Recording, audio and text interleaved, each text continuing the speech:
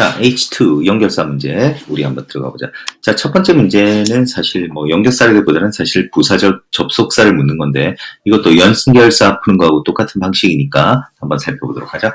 먼저 한번 읽어보자. 자, 많은 사람들은 말할지도 모릅니다. Hey, give me the success. 나한테 성공을 줘. And 그러면 I'll worry about. 내가 그리고 나서 내가 걱정할게. 뭐에 대해서. 나중에 행복에 대해서 어, 걱정할 게. 그러니까 이 얘기는 우리가 키워드로 잡아야 되는 게 뭐냐면 성공이 1번, 그 다음에 행복이 2번이야. 자, 그랬는데 바로 나오는 게 뭐니? Unfortunately. 자, 불행하게도 It doesn't happen that way. 그것은 그런 식으로 일어나지 않는다. 이 얘기는 성공이 먼저 오고 행복이 일어나지 않는다. 이렇게 되겠지. 자, 근데 A에 들어가는 게 일단 부사절이다. 얘가 부사절이 어디까지 가느냐? 자, 부사절은 당연히 이까지 가네. 자, 그러면 일단 부사절에 있는 내용을 한번 보자. 너는 행복을 고려한다. 뭐? 네가 성공을 고려하기 전에. 자, 위에는 뭐라고 했니? 성공 먼저, 행복 나중이면 불행하다라고 했어. 불행하게 일어나지 않는다고 했어. 근데 여기서는 뭐야? 어, 행복을 뭐다? 고려한대. 뭐보다? 성공보다. 이거 반대되는 개념이네. 그럼 이게 불행하다고 했으니까 사실 그 행복을 먼저 고려하면 성공이 온다. 요게 이제 작가가 생각하는 걸 건데 일단 주절 내용을 볼까? 그러면 then the manner 그 방식 어떤 방식? 관계사절이지. 그런데 그런 방식으로 너는 너의 성공을 성취하는데 그러니까 쉽게 얘기해서 네가 네 성공을 성취하는 그러한 방식은 자 뭐다? will be something 어떤 것이 될 것이다. 어떤 것이 되니? will destroy you later 나중에 너를 파괴하는 뭔가가 될 것이다. 어라? 주절에 뭔가 부정적인 얘기가 나와 있다. 그럼 우리는 체크를 해야 된다. 자, 너를 파괴하는 뭔가가 될 것이다. 이 얘기는 무슨 얘기야? 성공을 먼저 생각하고 그 다음에 뭐야? 나중에 행복을 생각하는 거. 이게 바로 너의 삶을 파괴하는 거잖아. 그런데 요 위에는 행복이 먼저 와 있잖아. 그리고 뒤에는 뭐야? 성공이 뭐야? 성공이 이제 나중에 오는 거고 그 얘기는 내용이 뭐다? since가 되는 게 아니라 뭐가 돼야 되니? 바로 unless가 돼야 되는 거야. unless. unless가 되면 해석이 어떻게 돼? 완전 반대가 되잖아. 만약 네가 행복을 고려하지 않는다면 뭐 성공을 고려하기에 앞서 이렇게 하지 않으면 너는 파괴할 거야. 그지? 그런 식의 이제 맥락으로 접근을 해야 되는 거다. 자, 그러면 또 계속 가보자. 많은 사람들은 자, 이 먼저 구조를 한번 잡아보자. 구조를 잡고 선생님이 해석을 해볼게. so 있네, so. 그래놓고 이거는 뭐니? b, b, g, i, n, g. 뭐뭐 하느라 있어서 바쁘다.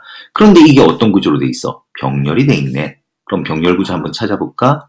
이거 하나, 둘, 셋, 그리고 마지막 뭐? 넷 해놓고 어이구 관계사 아 관계사가 아니네 관계사 아니다 관계사 아니다 자 관계사 아니다 이거 자 어떻게 되는 거야 이거 넷 잡고 이댓은 뭐에 걸리는 거지 우리가 바로 소데스 잡아야지. 이건 소데스지. 그럼 이건 부사절이지. 근데 부사절 안에 또 뭐 있니?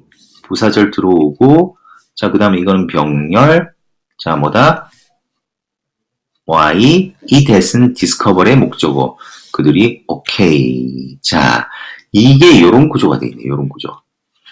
그지 자 그럼 문제 우리 한번 해석을 들어가 보자. 자 따라가 보자.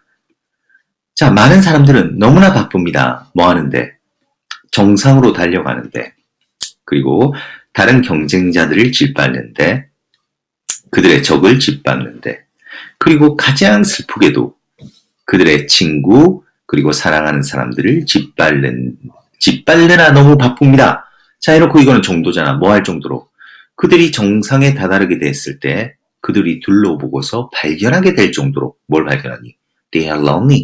그들이 외롭다는 것을, 그들이 불행하다는 것을 발견할 정도로. 그지? 이렇게 된다는 거야. 왜? 성공을 먼저 찾으면 그 얘기가 나오지. And then, 그리고 나서, 자, 또 보자. Their success. 자, 이렇게 해서 이제 성공을 했지. 근데 뭐야? They'll ask me. 그들은 나한테 물을 거래.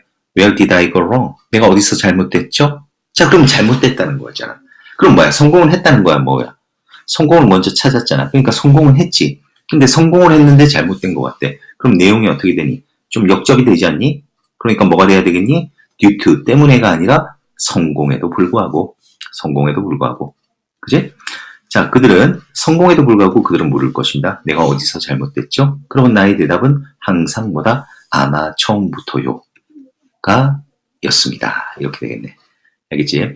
자, 그러니까 앞뒤 관계를 좀, 좀 크게 보고, 이게, 크게 봐서 이게 어떤 좋은 의미인가, 나쁜 의미인가, 이런 것들을 좀 구분하면서 너희가 찾는 거를 중요하겠다. 그리고 1번 같은 경우는 이제 문장 구조를 사실 또 정확하게 파악하는 것들이 또 실제 독해에 중요하다는 거 다시 우리가 알 수 있겠다. 자, 그러면 1번 여기서 마무리하자.